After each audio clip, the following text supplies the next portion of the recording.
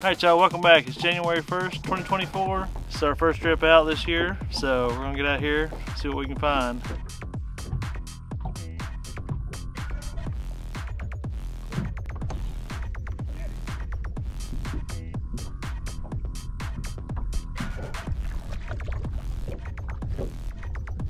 That's a big old crappie. Alright y'all, check out this crappie we just caught. It's our first fish of 2024. Let's see what that thing weighs.